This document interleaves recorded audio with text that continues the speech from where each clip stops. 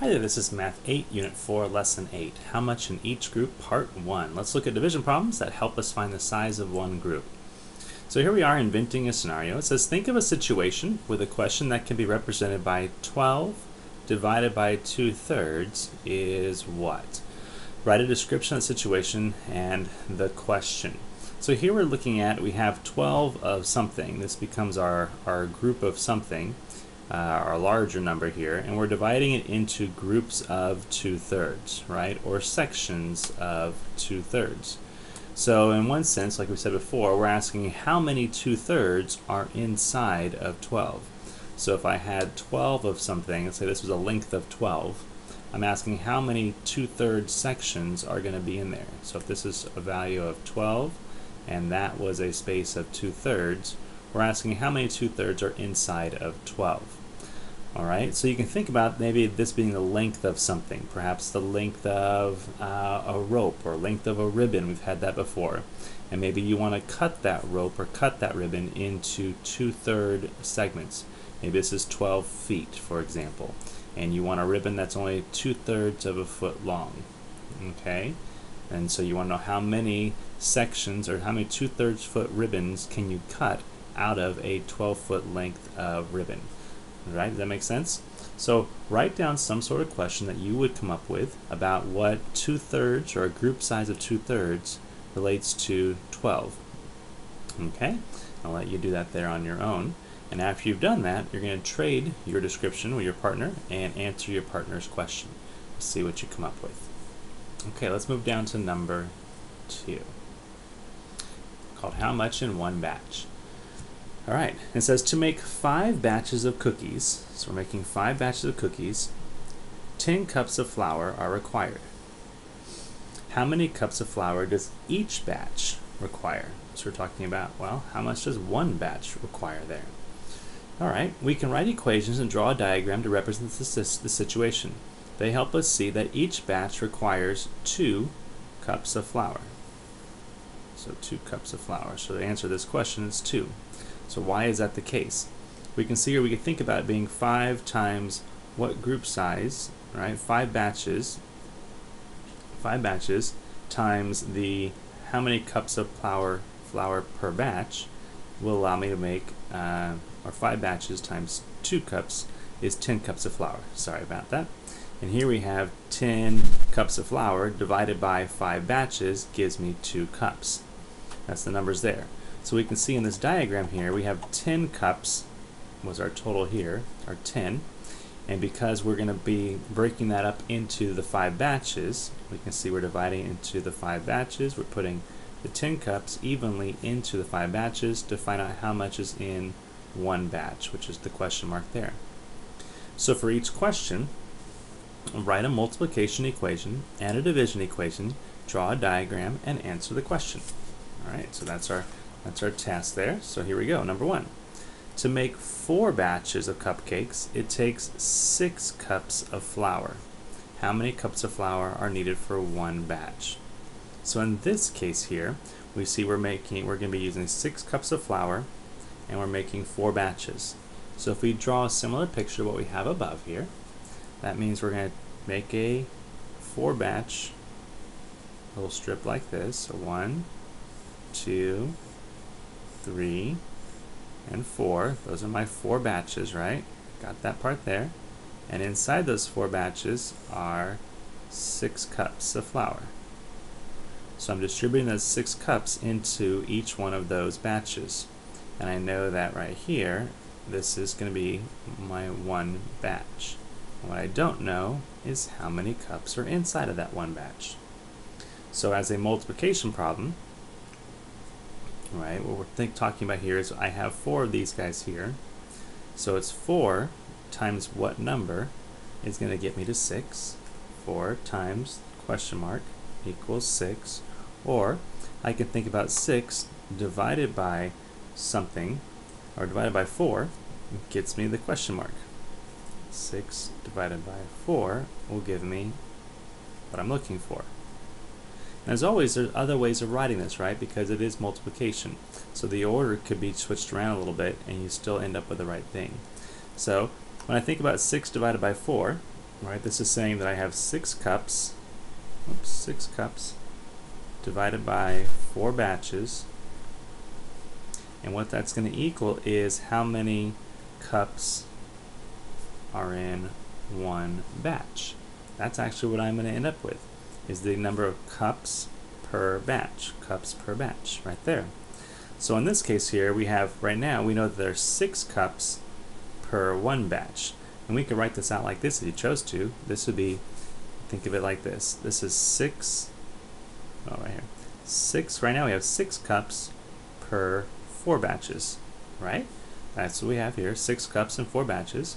So six divided by four is six divided by four. And of course we could reduce six divided by four to three over two. And if we want to write that as a mixed number, we can. We could leave it as 3 over 2 for one batch, so 3 halves of a cup. Or we could say it's 1 and a half cups, is how many cups of flour are in one batch. Alright, let's try another one. See this is going to start making sense for you. Number 2.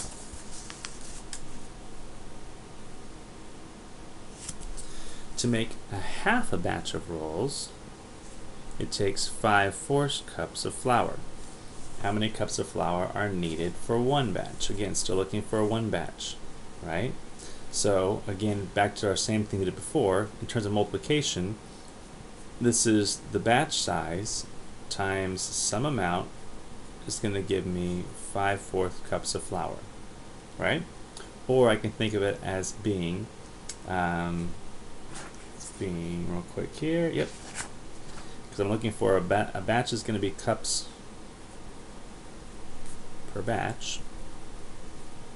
So I want to find out how much for one batch. That's my goal there. So if I think about, I have 5 fourths cups divided by half a batch. That's going to give me my cups per batch. So 5 fourths divided by a half is going to give me what I'm looking for there. As a picture here, all right, this is a little different picture. I can think about first a whole. So uh, number one, right, that's a, a bar of one. Because I'm dealing with a half, I know that half of a batch, here's half of a batch. Just write this down for you real quick. So that's half a batch uses 5 fourths of a cup of flour. We're trying to find out though how much flour is used for one batch. So already on the diagram we can see that if this is going to be 5 fourths of a cup of flour in here, in the half a batch, I'm going to just simply have another one there, right? Because it's a half and another half make a whole. And even if I did addition at this point, I could recognize that just with addition, I end up with 10 over 4 as a solution there. So that seems to work out okay. So what we're saying that then is 5 fourths divided by a half is actually equal to 10 over 4 or another way of writing that is 2 and a half is how many cups I would need there. So take a look here. This is 5 fourths and 5 fourths. 5 fourths is the same as what? It's the same as 1 and 1 fourth. So if you think about 1 and 1 fourth, if I add 1 and 1 fourth to 1 and 1 fourth, I end up with 1, 2, there's my 2, and a fourth and a fourth equals a half there. You may also start to recognize that this is happening. If I do 5 fourths, and I multiply instead by the reciprocal here, which is 2 over 1, we end up with 10 over 4, don't we? Right? Which is still 2 and a half. So what's happening is here, when I multiply by that reciprocal, I do end up with 10 fourths, which is the same solution there. Okay? But again, the idea is that I'm seeing how many cups are in a batch. Let's look at number three. This one says it takes two cups of flour. So we have our first one, two cups of flour to make two thirds of a batch. How many cups of flour to make one batch? So even though the questions change the order of words around, our goal here is still to find out how many cups of flour for one batch. So we're dividing cups divided by batches. So right now we have two cups divided by what I know is a two-thirds batch. and that's going to give me the solution I'm looking for. As a multiplication problem, I again might say it's 2 thirds times something gives me 2 cups there. But we're working with the division stuff, so let's work with this one here.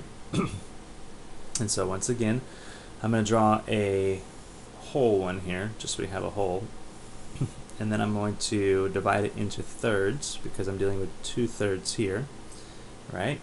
And I know that I use 2 cups, 2 cups in order to make, in this case here, 2 thirds of a batch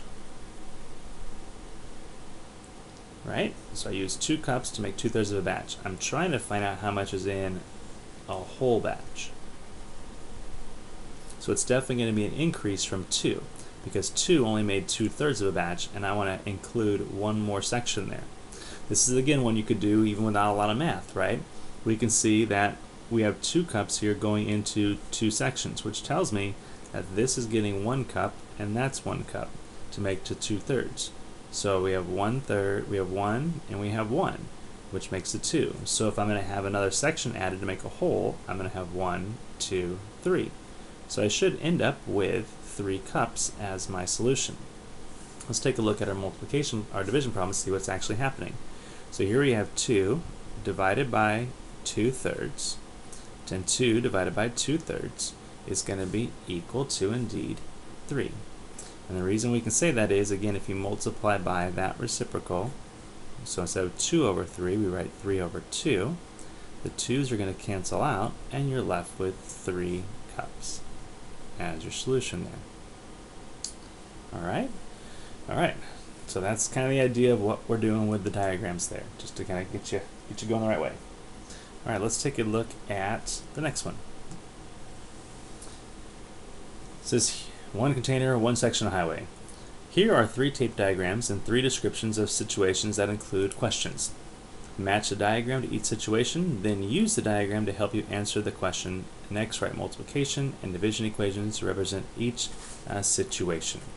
So, we have diagrams where we have 15 of something, and we can see that it's being broken up into containers, and we have one container and we have half a container.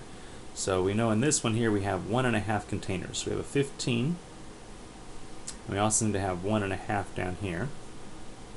When we look at this one, we have 15. And we notice we have two full containers there. That's two. And then here we have 15. And instead of one full container, we're dealing right here with this part, which is one third of a full container. I jot those numbers down just so I can take a look at, well, what are the numbers I'm working with on the next side here?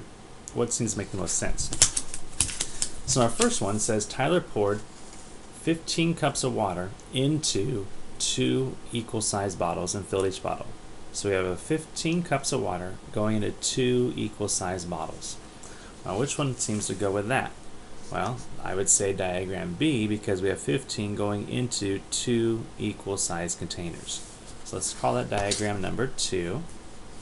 And what's happening here is in terms of the, um, the division part, I'll do that one first here because we're looking for how much water in each bottle. Because we're dealing with the water in each bottle, we want to get it in the terms of water per bottle. So as a division equation, I know I have 15 cups of water divided by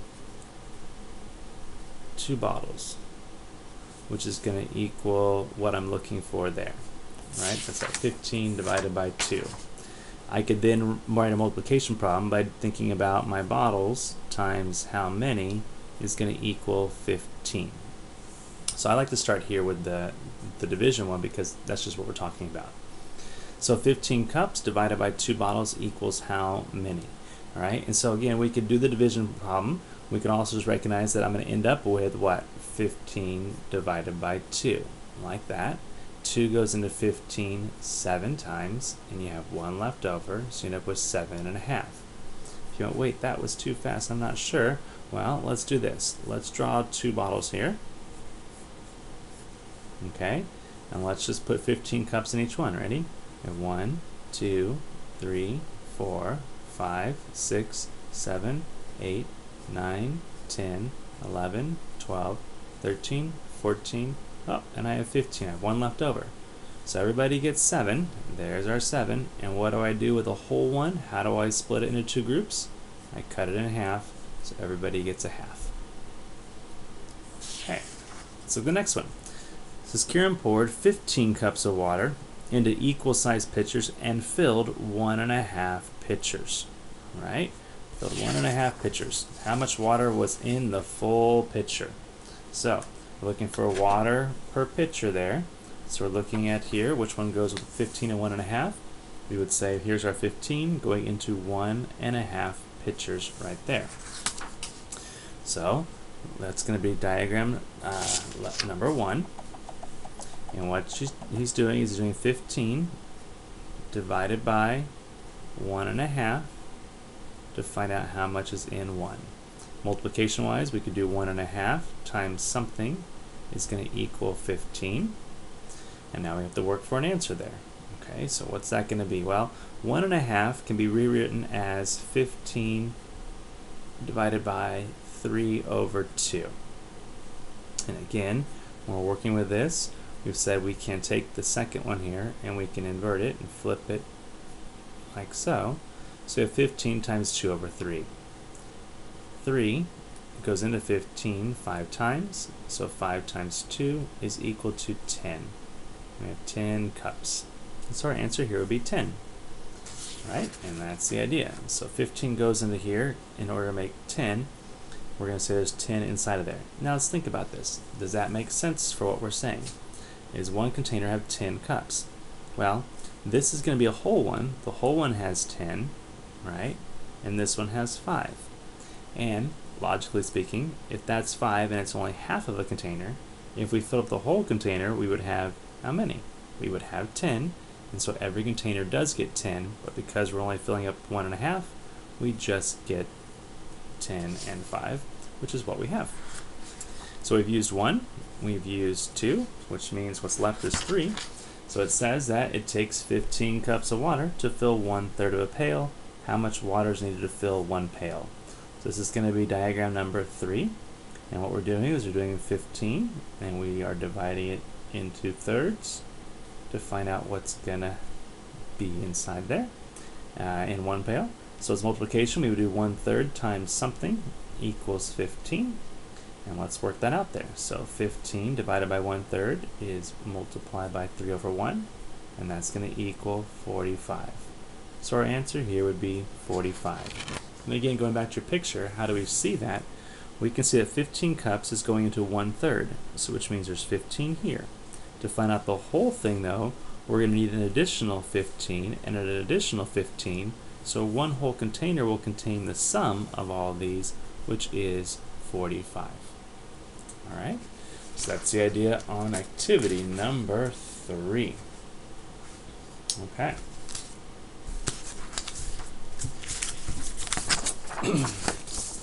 here we go, and it says here are three more diagrams, situations.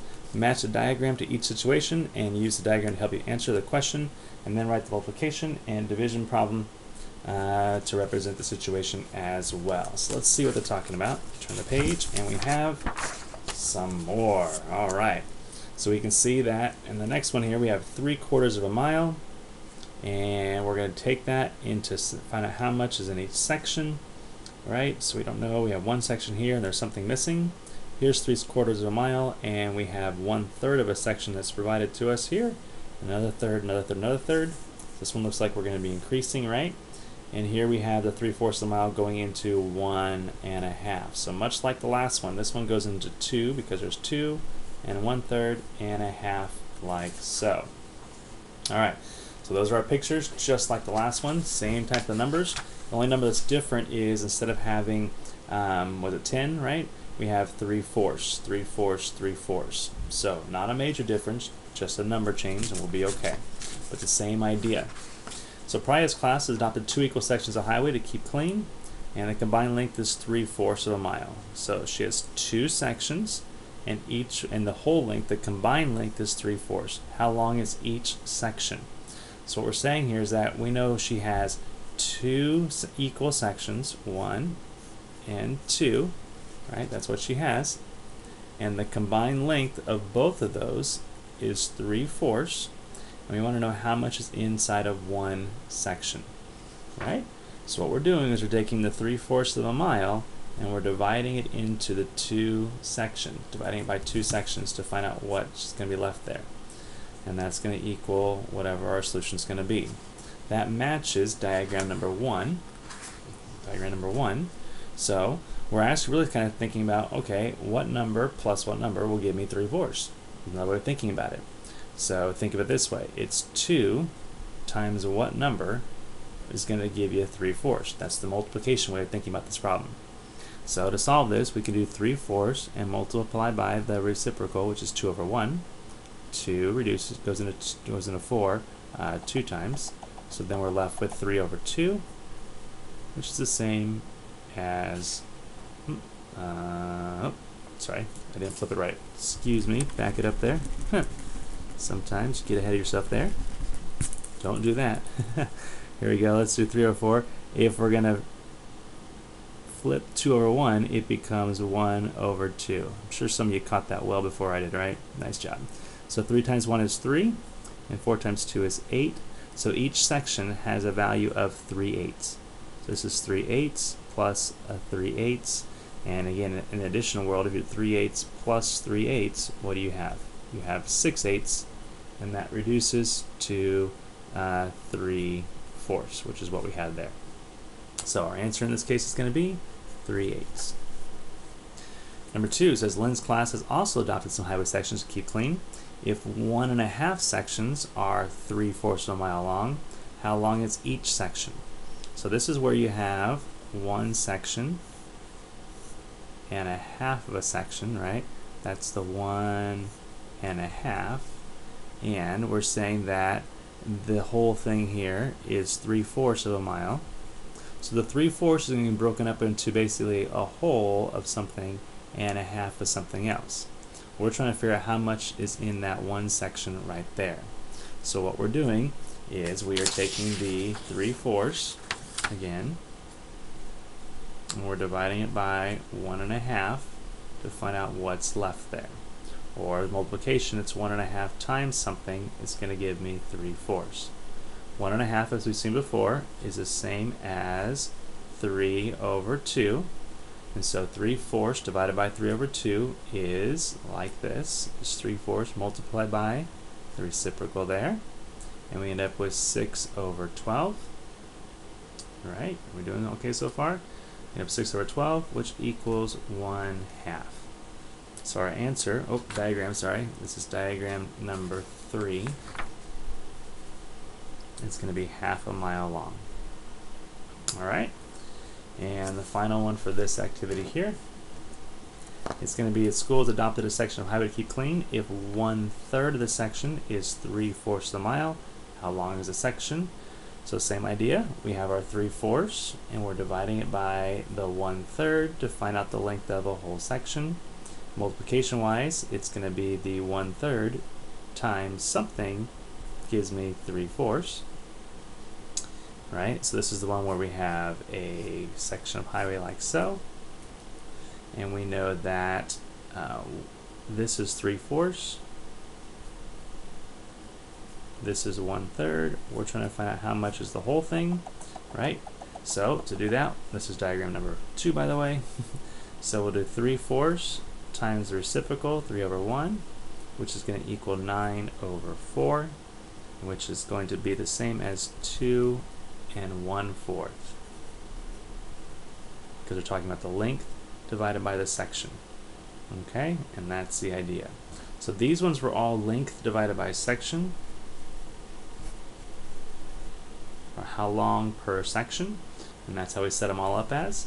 Um, and the one before was a little different, but same kind of idea. Alright, so let's take a look then at your summary for today's lesson summary, summary. Put my notes real quick. Here we go. So sometimes we know the amount for multiple groups, but we don't know how much is in one group. We can use division to find out. For example, if five people share eight and a half pounds of cherries equally, how many pounds of cherries does each person get? So that's kind of the question there. Five people share eight and a half pounds of cherries equally. How many pounds of cherries does each person get? Right? And so we can see that we are looking at, we can represent the situation as multiplication and division by thinking of 5 times what can get you 8.5 or 8.5 divided by 5, right? These are the people we're dividing by. So I have 8.5 pounds of cherries that are going into um, that, going to be shared with 5 people.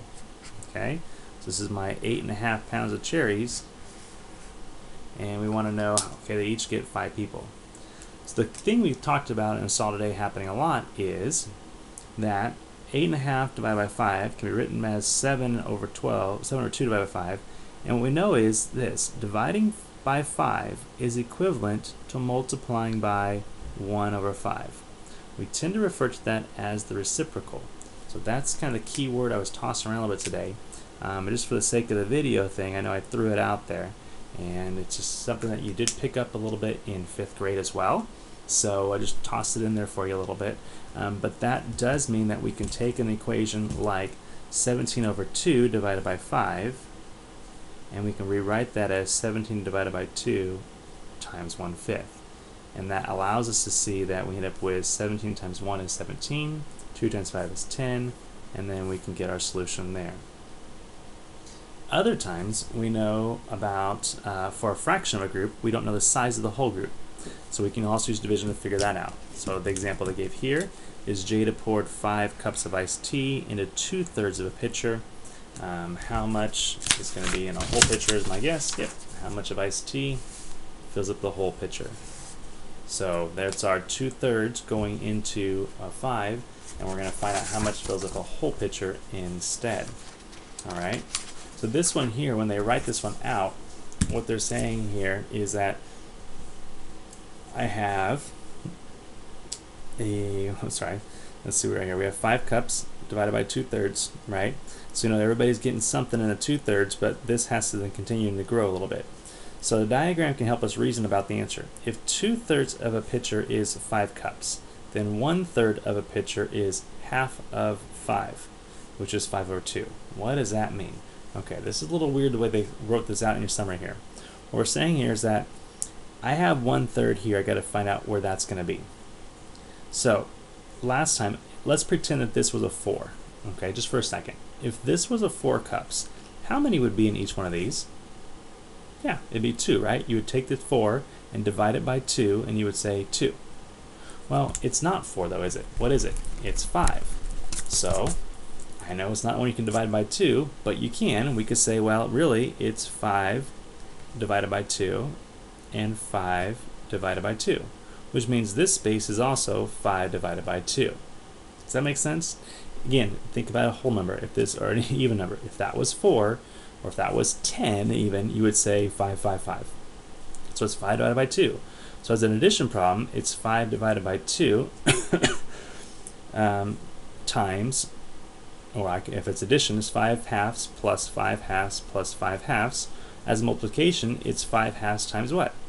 times 3, right? That's what's happening. It's 5 halves 3 times. So when we think about our equation here, what's happening, we have really 5 halves times uh, a third, which actually in our case here is going to be equal to 15 over 2, which ends up being our solution. 15 over 2, uh, it works out just fine. So if you look down here, we say two-thirds of a pitcher is 5, then one-third of a pitcher is half of 5, which is 5 over 2. Because there are three thirds in one whole, there would be 3 times 5 over 2. 3 times 5 over 2, or 15 over 2 cups in one whole pitcher. Right? So this is what they're saying here the words, but that's what it looks like in terms of math kind of stuff. Right?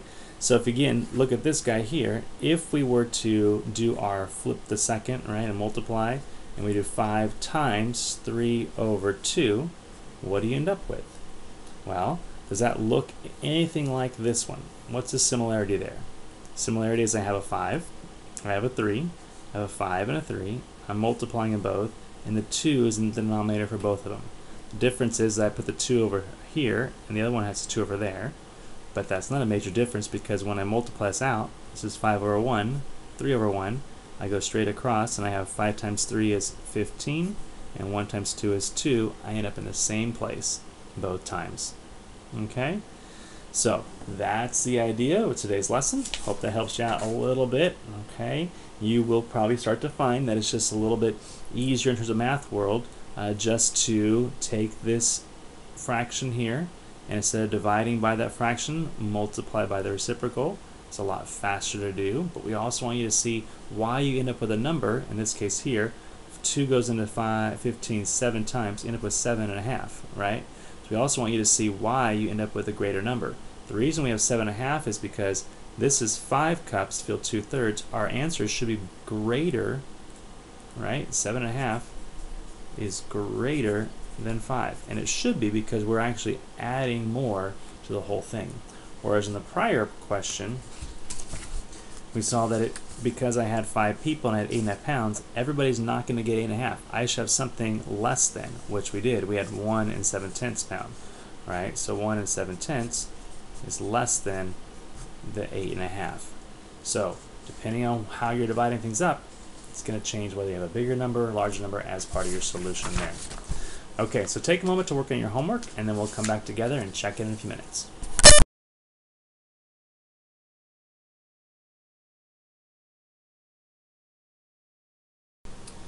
Alright, here we go. It's homework time. For each scenario, use the given tape diagram to help you answer the question. Mark up and label the diagrams as needed. So it says Mai has picked one cup of strawberries for a cake, which is enough for three-fourths of the cake.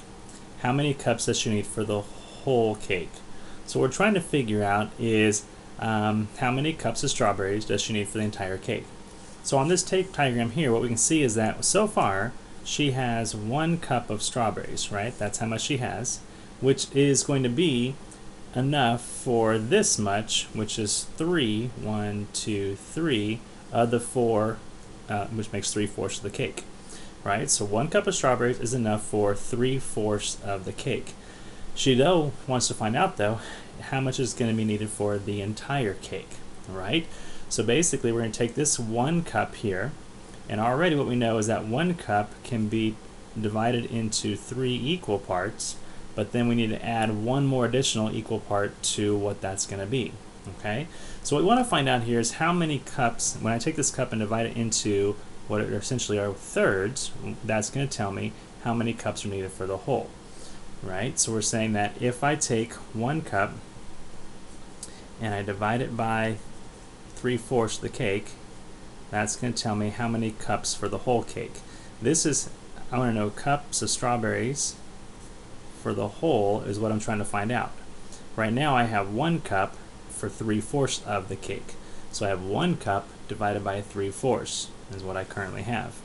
Now looking at this here, what I do recognize, like I said, is this is, because there's three sections, is equivalent to essentially a third of a cup, a third of a cup, and a third of a cup. The reason we can say that is because we can say one cup broken up into three parts is a third, a third, and a third. Which means this other part here would also be, because it's the same portion size, one third of a cup. So just by doing addition, I could say that I have one, two, three, four thirds of a cup to make the whole thing, which is equal to one and one third. Let's come back over here and look at our equation. We have one divided by three fourths. And we talked about if we take the div divided by 3 fourths and we multiply by the reciprocal of that, that also will work. Well, 1 times 4 is 4, and then this is like 1 over 1, 1 times 3 is 3, and so we have 4 thirds, which is equal to 1 and 1 thirds. So it would take us 1 and 1 thirds cups of strawberries to make the entire cake. Right? Let's look at the next one. It says Priya has picked 1.5 cups of raspberries, which is enough for, again, 3 fourths of the cake. Right? So she has one and a half cups of raspberries. That is the same as 2 times 1 is 2, plus 1 is 3, as 3 halves of a cup of raspberries. And she's putting that into this part here, which is the 3 fourths of the cake again, right? This is my 3 fourths. We want to find out how much for the whole thing. So just like the prior, the previous problem, we're taking our one and a half and we're dividing it by 3 fourths because that's my my cups of raspberries divided by the part of the, the, the cake amount. And I want to find out how many cups for the whole is what I'm trying to figure out. So again, this became 3 over 2 divided by 3 over 4. All right, so I could look at this and think, well, can I do this with the equation? Yes, I can. I can do 3 over 2 multiplied by the reciprocal, which is 4 over 3, right? And the 3's are going to cancel, so you're left with 4 over 2, which reduces down to 2. So, but let's come back over here. Let's look at the diagram. Here I know that I have one and a half cups of raspberries in three sections. I have essentially, we said three halves is what I have, which is another way of writing it as a half, a half, and a half. One, two, three are my three halves that are in this part right there, right? That's what I'm given. Knowing these are equal sections, that would also be a half. And so if I just add them up, I would have one, two, three, four halves which is the same as 2. So, using the diagram, we can see that this actually is the correct answer. Let's look at number 2. Tyler painted 9 half square yards of wall area with 3 gallons of paint. How many gallons of paint does it take to paint each square yard of wall? Okay, we're trying to find out how many gallons per square yard of wall. So our goal here is to figure out gallons, oops, off the wall, off the page there, gallons per square yard of wall. Meaning, what I'm given here is I'm given three gallons, and I'm dividing, because that's a division sign, by the number of yards of wall I have. 9 divided by 2 equals a question mark there. So without looking at the question, I'm look or the A, B in part, what I'm seeing is that we're trying to find out gallons per square yard which is gallons divided by the square yards I have here. I have three gallons, three, nine and a half square yards there. So let's see what the questions are. Write a multiplication and division equation to represent that. Sure. Well, the division we just did, 3 divided by 9 over 2 equals question mark. And as a multiplication, we could say 9 over 2 times the question mark is going to be equal to 3.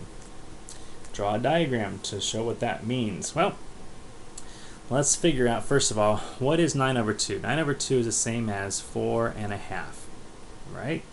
So what we could say here, looking back, uh, you know, prior, we made our top number here to 3, and then we, well, let's just see. Um, let's go with 9 and a half first of all. Let's go 4 and a half. Let's make groups of 4. 1, 2, 3, four, and I know it's four and a half, so I'm going to come out here to five. I'm going to draw a little line right there because that's my half of that. So this is four and a half, right? And I can cut it up like this to show that these are halves, which is the same as one, two, three, four, five, six, seven, eight, nine halves, right? So those are my nine halves, and I want to know how many nine half groups are going to be in three. Well, this is three. We have one, two, three, so three comes out to here. There's my three, right? So how many of them are there? Well, when I look here, I can see that in terms of how many threes are in this section here, I have one, two, three, four, five, six are in there. And there are a total of one, two, three, four, five, six, seven, eight, nine in the whole group. So we have 6 over 9, which is equivalent to 2 thirds. That's what I'm seeing in the picture there in the diagram. Let's take a look at the division equation and see what happens. 3 divided by 9 over 2, that becomes 3 times reciprocal, 2 over 9. 3 times 2 is 6. We get 9 in the denominator, 6 ninths, which is the same as 2 thirds. So that seems to work out okay. All right. Number 3 says after walking a quarter mile home, a quarter mile from home, Han has one is one third of his way to school. What is the distance between his home and school? We're going to write a multiplication division equation and use a tape diagram to represent that one there. Okay, so, um, well, on the back side we have a picture of, well, before I get those to this here real quick, what we're saying is he's one third of the way to uh, where he needs to be, so he is, what we're trying to find out the distance between home and school is essentially going to be 1 fourth divided by 1 third, right, equals a question mark. let's just draw a picture real quick here. They have one on your next page. All right. So these are my thirds, and we've said that he's gone one fourth of a mile, and that is one third of the trip, right? So one fourth is this much, and this is the whole trip. He's only gone one third. I guess we could call this the one third part, sorry. Right? So he's gone one third, and in that one third is a one fourth. So to go the whole trip would be all of these things combined. So looking at that, what we're really looking at as a multiplication problem is 1 fourth times 3, which is equal to 3 over 4. As a division problem, like we said, we're talking about 1 fourth divided by 1 third, which is also equal to 3 fourths. Okay, so that's what that looks like there. All right, that's the idea. Um, okay, number four. Number four. Here's the division equation. 4 fifths divided by 2 thirds. Write a multiplication equation that corresponds to it. Sure, let's do that. We could do, we could say um, 2 thirds times something we don't know is going to equal 4 fifths. That works out great. And then we're going to draw a diagram to represent that. Okay, before I draw a diagram, let's take a look here. It's helpful to look at the denominators to know that I have a 5 and a 3, they're not the same. So 5 times 3 is 15. That's my least common multiple. So what I'm going to do is I'm going to rewrite this here. I'm going to write, I have 4 fifths divided by 2 thirds. And I want a common denominator. I'm going to go with 15 as my common denominator, right? So to get the 15 over here, this is times 3. So I'll multiply the top times 3, which is 12. To get from this to 15 is times 5. So times 5 times 5, 2 times 5 is 10. So really I have 12 fifteenths divided by 10 fifteenths by making that least common multiple there so that they have the same denominator. Okay, so we have 10 fifteenths, 12 fifteenths, like so. So let's then draw a little diagram here.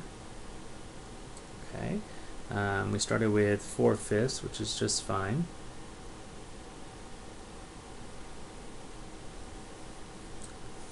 One, two, three. One.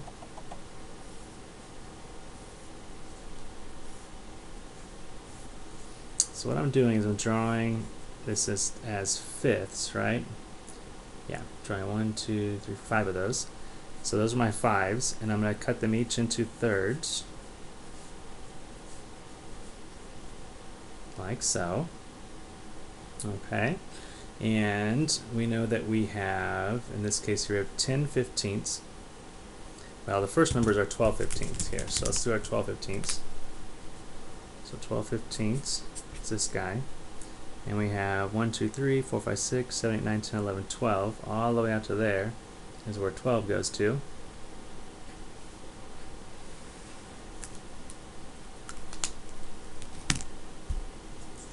Right and then our 10 fifteenths we have 1 2 3 4 5 6 7 8 9 10 right there so that's 10 so in terms of how many groups of 10 15 are in there we know we have at least one we have one whole group but we also have these remaining ones here right we have one two now that's going to be two out of what's a group size well a group size is 10 so combine those together and we have 1 and 2 tenths or 1 and one fifth is what we actually have. Now does that work out the same? Well let's take a look here. If I looked at 4 fifths divided by 2 thirds and then I turn that into a 4 fifths times the reciprocal, 3 over 2, this will reduce to 2 over 1 2 times 3 is 6, 5 times 1 is 5, and so now we have 6 fifths, and 6 fifths is the same as 1 and 1 fifth. So yep, there it is. It works out okay, right? Alright, number 5. A set of books that are 1.5 inches wide are being organized on a bookshelf that is 36 inches wide. So we have books that are this wide on a bookshelf that's that wide. How many books can fit on the shelf? right? So how many of these can fit inside of there? As a multiplication problem, that would be 1.5 times uh, something